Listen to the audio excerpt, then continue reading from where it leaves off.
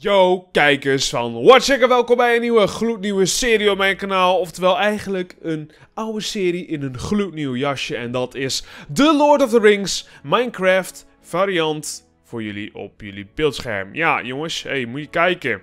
Ik heb gewoon een heel mooi pakje aan. Voilà, dit ben ik. En ik ben in... Drie keer waar ik zit. Ja, goed zo, deel. We zitten in deel. Yes, mensen. Kijk, uh, jullie zien hier nu mijn fancy Minecraft skin in een deelpakje. En het is al best wel... Wat, wat gebeurt er echter? Het is zo...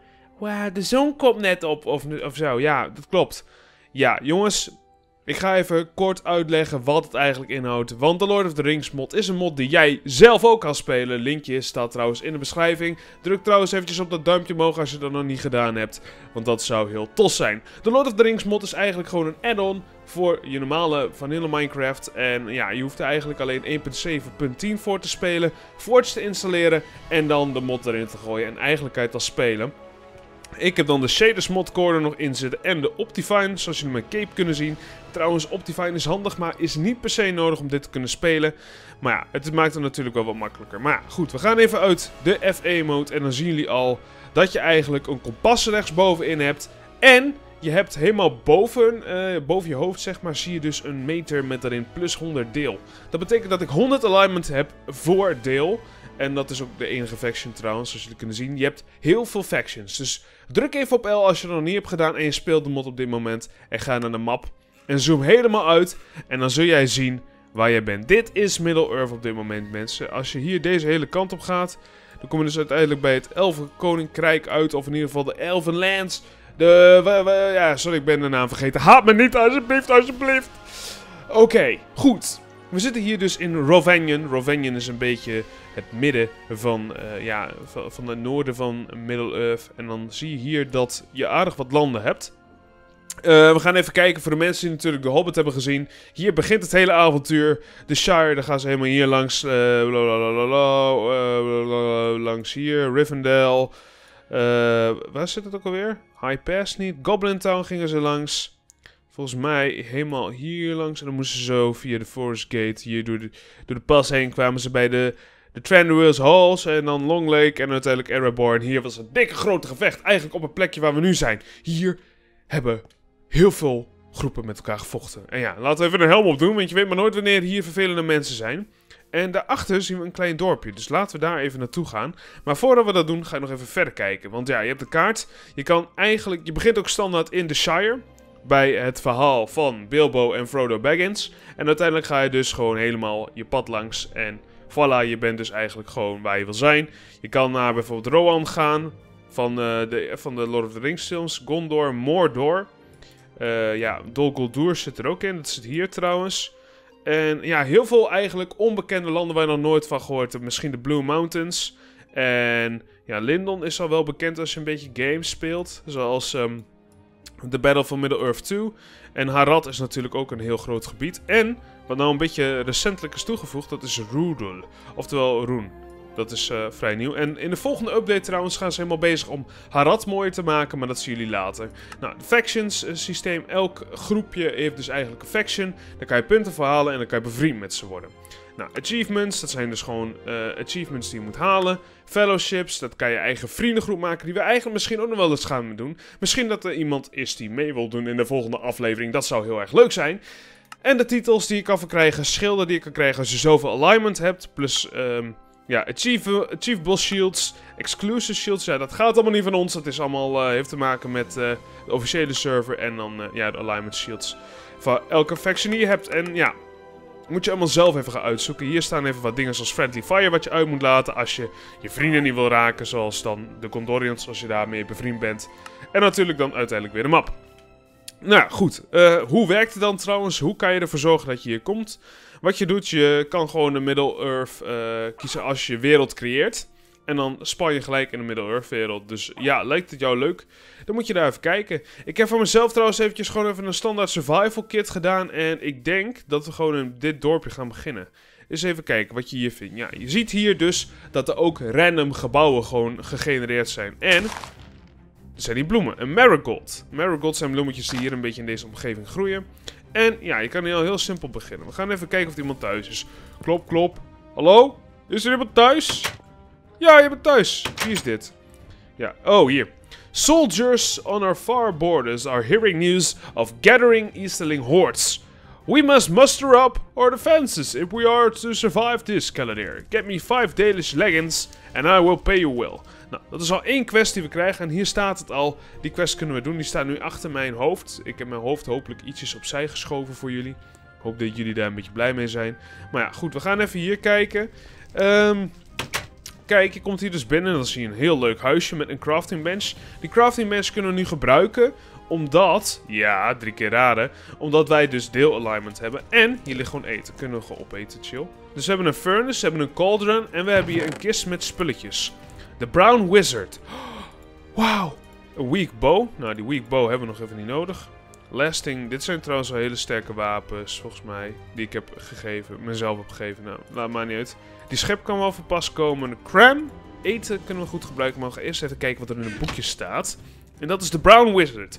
Between the Carrock and Old Forest Road, on the western edge of Mirkwood, one can find the old home of Rose Gobble. Is dat, ik weet niet, dat is toch volgens mij de bruine tovenaar? These are the simple dwellings of a simple wizard, who goes by the name of the Radagast the Brown. Dat was zijn naam, niet uh, Ross okay. Radagast is no ordinary wizard, and it has been clearly noted that he is neither the brightest nor the strongest of the Istari. Dat zijn dus tovenaars. But he is known to possess an odd gift for taming the many beasts and birds of the forest, as well as a seemingly unending knowledge of the herbs and the plants of the land. Many believe that Radagast uses the creatures of the forest as his eyes and ears, watching for any possible signs of evil or darkness at work, although his activities of late are unknown, it is certain, at least to me, that Radagast is worthy of his title of wizard. Oké, goed, dat uh, boekje gaan we bewaren. Vind ik wel leuk om te hebben. Plus, we zien hier een klok. En we kunnen hier gewoon gaan slapen. Sorry meneer dat ik zo ben binnengestormd in uw huis. Het was niet de bedoeling om uh, uw spullen te jatten, heus. Nou, hier zien jullie dus ook de banners. Banners staan eigenlijk dus voor de groep waar je bij wil horen of wat je kan gebruiken om iets te claimen zonder dat er een hele vervelende groep met mensen naar je toe komt en je hele dorp gaat opblazen. Want dat kan ook. Ja. Goed, we kijken in deze toeren. Deze toren stelt niet heel veel voor. En hier is nog een huis. En we hebben hier een vrouw. En drie keer raden wat vrouwen hebben. Die hebben boobies. Ja. Hallo mevrouw, wat, uh, wat heeft u te zeggen? Ik kan niet zien. There has been talk of strange messengers in Dale. Wicked man of the south. You are not one of them, are you, Caladir? Nee, nee, nee, nee, nee. Ik ben, ik ben een deel, deelsman. Ik, uh, ik kom uit Deel. Dat, uh, dat, dat, was het idee in ieder geval. Ga wel even stelen hoor. Kijk, je hebt hier ook... je kan hier drankjes consumeren. En soms word je dan een beetje misselijk ervan. Leather is handig. En we hebben een Dalish recipe. Oeh, dat is wel handig. Plus pijltjes erbij en veren. Ik denk dat we die wel even gaan gebruiken. En even wat eten. Oh, maar wat staat hierin?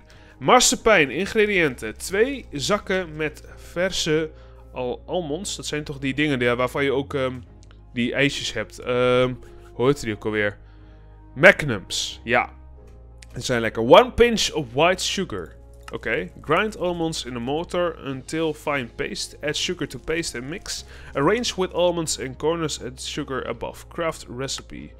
Serves one. Oké, goed. Een recept kunnen we ook goed gebruiken, denk ik.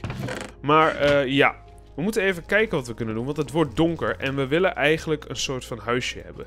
Zullen we trouwens bij dit dorpje, want dat vind ik best wel leuk, kun je nu ook zien waar we nu zitten. We zitten een beetje bij Erebor en Erebor is eigenlijk bekend omdat daar een soort van gebied is waar dwarfs leven. En in die dwarvengebieden, daar is dus heel veel te vinden qua metaal. En eigenlijk wil ik wel graag een anvil maken, dus ik moet even kijken hoe dat gaat doen. Want, ik weet niet hoe ik een anvil maak in deze mod. Volgens mij was daar een nieuw recipe voor. Even kijken. Kunnen we dat zo doen? Volgens mij was het zoiets. Nee. Moet het dan met blokken? Ben ik ook wel benieuwd naar. 2, 3, 4, 5, 6, 7, 8, 9. Ik weet niet of het zo nog werkt hoor jongens. Het is heel erg anders. Dit is normaal het recept voor een anvil, maar dat werkt ook niet meer. Dus dat, daar, hebben we even de crafting recipe niet voor. Dus dat is even pijnlijk op dit moment dan. Maar goed, daar gaan we later wel achter komen. We hebben nu wapens. En ik denk dat het handig is dat als het straks donker wordt, zoals je nu al een beetje ziet, dat we op zoek gaan naar orks. Nou, in het zuiden heb je dus een hele leuke rivier. Je hebt hier deze kutbeesten, die gaan we trouwens even killen. Kijk. Oké, dit zijn dus rabbits. En die rabbits, die eten jouw op. Of in ieder geval, als je dus dan wat wil verbouwen op het land. Hey, kom hier. Kom hier, bitch. Oh, die beesten zijn snel. Maar je krijgt ze wel dood. Ja, die beesten die eten dus alles op wat, uh, wat jij verbouwt. Maar goed, weet je, we kunnen hier trouwens al eventjes een waypoint zetten. Lijkt mij handig. Als ze dan een bepaald aantal quests doen, kunnen we hier zomaar straks weer naartoe komen. En ja, we kunnen wel even iets gaan verzinnen om nu te gaan doen. Ja, we hebben voor hem dan een quest lopen en die moeten we dan eigenlijk ook gaan uitvoeren. Maar dat is makkelijker gezegd dan gedaan. Ik denk dat wij eerst eventjes naar de dwergen toe moeten gaan. Om te kijken of daar misschien wel orks zijn die we moeten afslachten om alignment te kunnen krijgen. Hé, hey, daar lopen Dalesmen. En volgens mij hebben die helemaal geen wapens. Waarom eh, hebben die geen wapens? De dreiging van de orks is hartstikke groot. Wow. En jullie durven hier gewoon te lopen. Ja, jij bent een vrouw natuurlijk. Ja, ja, ze hebben allemaal wat te zeggen, maar door mijn shaders kan ik het net niet goed lezen. Dat is wel eventjes weer wat, wat vervelends. Hallo?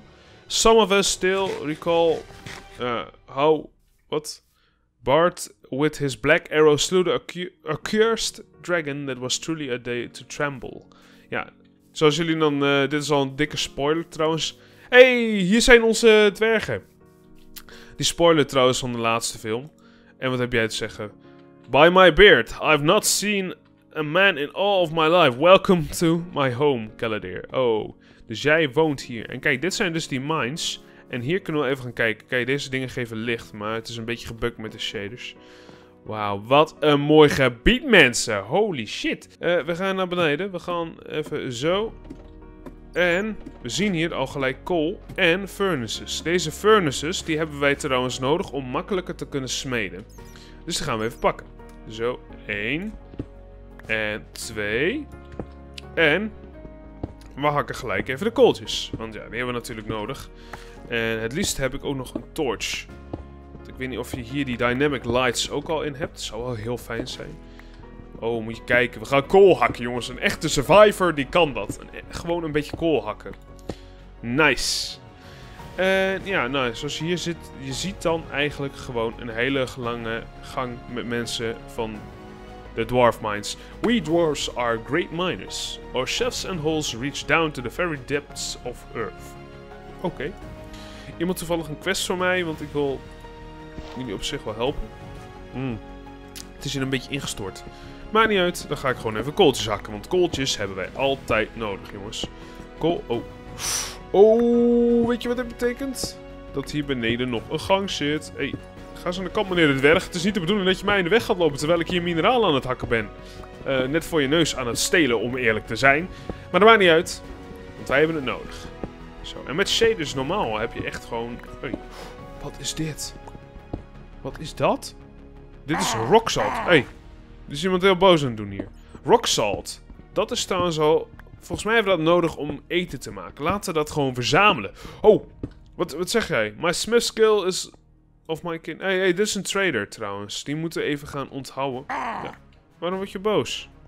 Waarom wordt hij boos? Volgens mij zijn orks hier. Hallo? Zit hier een ork? Wat ben je aan het doen? Waar is die? Oh! waarom zijn jullie allemaal zo boos, jongens? Wat is de bedoeling hiervan? Nou, we hebben in ieder geval lekker wat even van deze ors. Maar ik zie hier trouwens ook wat leuks. Dit zijn de gemstones die zijn toegevoegd sinds de laatste update. dan kan je ook wel zien, dat zijn topaz. Topaz zijn dan weer items die je gewoon hebt voor de leuk. En hier hebben wij ook wat. Dit is voornamelijk voor bommen te maken, volgens mij. Dit hebben we daarvoor nodig. Maar ja, het zijn ook wel leuke steentjes. Dit is silver. Wat is dat? You wish to trade with me? Je hoeft niet zo boos te doen, man. Je kan ook gewoon lief doen, weet je. En dan kan je die zo aandoen. Deze kan je ook aandoen. Wow. Maar zit hier ook nog wat anders dan kool? Of is het echt puur alleen kool? Nee, hier hebben we nog wat. Hier hebben we, als het goed is, is dit koper. Ja, en dat hebben we nodig voor brons. En brons kunnen we dan ook weer leuke dingetjes van craften. Dus ja. Zo, wat leuk. Oh, wat leuk zeg. En die, en die, en die, en die. En dan hebben wij een hele voorraad kool. Nou, we moeten toch even iets van tin nu hebben of ijzer of... Ja, ik hoef niet echt meer kool. Kool hebben we op dit moment wel even genoeg. Hier zit nog koper, dat hebben we ook al wel. Hier misschien nog iets. Ik ga jou even hier plaatsen, zo. Ja, en hier is het nog wat donker. Hé, hey, er loopt daar een gang verder, jongens. Nou, weet je, daar gaan we later even naar kijken, want... Oeh, dit is trouwens wel heel leuk om te hebben. Kijk, in Dark Places. Mine some glowstone... Uh, wat was het nou? Glowstone ore. Ja, je hebt nou oors waarmee ik dus glowstone kan krijgen. Oh, ja, hier moeten zijn. IJzer, jongens. Nice. Dan hebben we daar drie van en kunnen we straks een pickaxe maken. En dan hoop ik dat we wat dwarven alignment kunnen krijgen. Maar dan moeten we even kijken of deze... Oh, daarom worden ze zo boos. Ze springen gewoon op die fucking needles. Handig, jongens. Handig. Wat zijn dwergen toch slim, hè? En hier wil ik bevriend mee raken. Nou, kijk, hier hebben we nog wat... Als het goed is, is dit tin. Even kijken. Of dit is zelfs zilver. En met zilver, jongens, daarmee kunnen wij uh, munten maken. En met die munten kunnen we dan weer dingen gaan kopen. Dus dat is ook wel handig. Zo, nog wat ijzer erbij. En dan kunnen we hier nog even weer naar boven. Zo. En dan hebben wij de eerste spullen om straks te gaan smeden. En dan hoop ik in de volgende aflevering het recept te weten van een anvil. Zodat wij dan straks onze wapens veel sterker kunnen maken. Hier zitten nog wel aardig wat lieve mensen. Maar ja, ik ga jullie toch in de steek laten jongens. Ik vond het heel gezellig. Maar we gaan naar boven. We gaan op zoek naar ons nieuwe avontuur. Jongens, vonden jullie het leuk? Abonneer natuurlijk op Watchjagger. Laat even dat duimpje omhoog achter. En uh, bedankt voor het kijken. Tot de volgende keer maar weer op Watchjagger met The Lord of the Rings mod. Bedankt voor het kijken en later. Later!